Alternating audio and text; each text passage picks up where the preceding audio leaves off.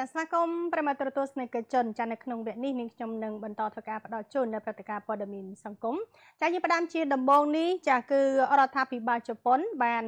ចាតាមរយៈស្ថានទូតប្រចាំនៅកម្ពុជាបានចុះហត្ថលេខាផ្ដល់ថវិកាសរុបចំនួនចា82ម៉ឺនចា8546ដុល្លារសហរដ្ឋអាមេរិក ចាទៅដល់ស្ថាប័នជំទទួលគឺជំនួយចាចំនួន3ស្ថាប័ន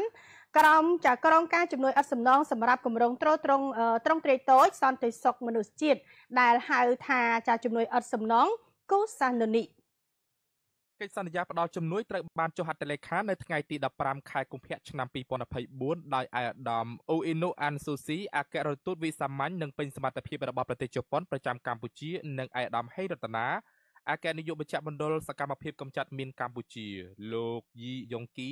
ប្រធានមន្ទីរអប់រំយុវជននិងកីឡាខេត្តបាត់ដំបងនិងលោកសយសូណាប្រធានមន្ទីរកសិកម្មរុក្ខប្រមាញ់និងនេសាទខេត្តរតនគិរីអគ្គរដ្ឋទូតជប៉ុនបានដឹងផងដែរថាចាប់តាំងពីឆ្នាំ1991រដ្ឋាភិបាលជប៉ុនបាននឹងកំពុងផ្ដល់ជំនួយឥតសំណងមកកាន់កម្ពុជាដើម្បីជួយផ្ដល់ដល់អាជ្ញាធរមូលដ្ឋាននិងអង្គការក្រៅរដ្ឋាភិបាលនានា ដែលកំពុងអនុវត្តគម្រោងគូសាណូនីមានន័យថាឬស្មៅនៅក្នុងភាសាជប៉ុននៅក្នុងរយៈពេលជាង30ឆ្នាំចុងក្រោយនេះស្ថានទូតជប៉ុនបានចូលរួមចំណែកយ៉ាងសំខាន់នៅក្នុងគម្រោងចំនួន691គម្រោង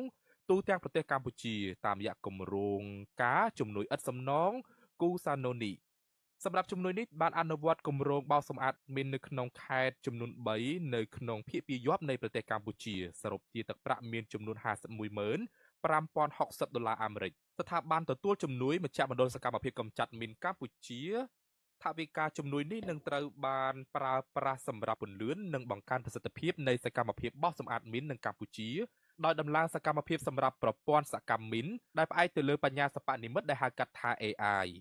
ក្របមីននៅតែបន្តមាននៅក្នុងប្រទេសកម្ពុជាដូចជានៅតំបន់កំពុងអភិវឌ្ឍកសិកម្មកន្លែងទេសចរនិងតំបន់សម្រាប់រោងចក្រខ្នាតធំធំ2 គម្រោងសិក្សាអគារសិក្សានៅសាលាបឋមសិក្សាពីងពងស្ថិតនៅក្នុងស្រុកបាវែលខេត្តបាត់ដំបងចំណាយថវិកាប្រមាណ88,900ដុល្លារអាមេរិកស្ថាប័នជំនួយមន្ទីរអប់រំយុវជននិងកីឡាខេត្តបាត់ដំបង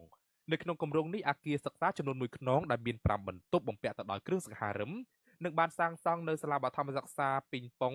ស្ថិតនៅក្នុងស្រុកបាវែលខេត្តបាត់ដំបងដែលបច្ចុប្បន្ន សិស្សដែលនៅសាលានោះជួបការលំបាកនៅក្នុងការសិក្សាដោយអាគារសង់អំពីឈើនាពេលបច្ចុប្បន្ននិងគ្រឿងសង្ហារឹមធ្វើអំពីឈើដែលមានសភាពទ្រុឌទ្រោមគម្រោងនេះមានគោលដៅនឹងនាំមកនៅបរិស្ថានសាលាដែលមានសុវត្ថិភាពនិងផាសុកភាពជាងមុនដោយយើងរំពឹងថាគម្រោងនេះនឹងផ្ដល់អត្ថប្រយោជន៍ដល់សិស្សចំនួន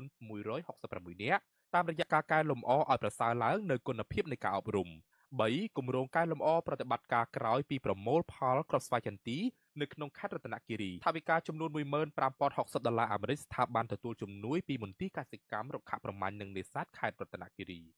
ចំនួនថាវិការនេះត្រូវបានប្រើប្រាស់ដើម្បីសាងសង់ឃ្លាំងនិងកន្លែងសម្ងួតក៏ដូចជាដំឡើងនៅឧបករណ៍វាស់សំណើមនិងម៉ាស៊ីនចាក់ថ្នាំសម្រាប់សហគមន៍ដែលកសិកម្មចំនួន4នៅក្នុងខេត្តរតនគិរីដែលបច្ចុប្បន្នគ្រាប់ស្វាយចន្ទ្រីស្របច្បាប់ត្រូវបានលក់នៅក្នុងតម្លៃទាបក្នុងការប្រមូលផលនិងដោយសារតែពុំមានឃ្លាំង និងកន្លែងសម្ងួតបន្ថែមពីលើនេះកសិករបាននឹងកំពុងជួបការលំបាកនៅក្នុងការធានានូវគុណភាពនិងរក្សាគុណភាពគ្រាប់ស្វាយចន្ទទីឲ្យបានខ្ពស់នៅក្នុងដំណើរការផលិតដោយពួកគេដោយពួកគេមិនមានឧបករណ៍សម្រាប់វាស់សំណើមនិងម៉ាស៊ីនសម្រាប់ចាក់ថ្នាំ យើងរំពឹងថាមានគម្រោងនេះនឹងផ្ដល់អត្ថប្រយោជន៍ជូនដល់កសិករប្រមាណ200នាក់នៅក្នុងសហគមន៍កសិកម្មចំនួន4ដោយការពង្រឹងខ្សែសង្វាក់តម្លៃនៅក្នុងការផលិតគ្រាប់ស្វាយចន្ទីក៏ដូចជាការដំឡើងនៅប្រាក់ចំណូលរបស់កសិករចាប់តាំងពីឆ្នាំ1991រដ្ឋាភិបាលជប៉ុនបានផ្ដល់ថវិកាជាង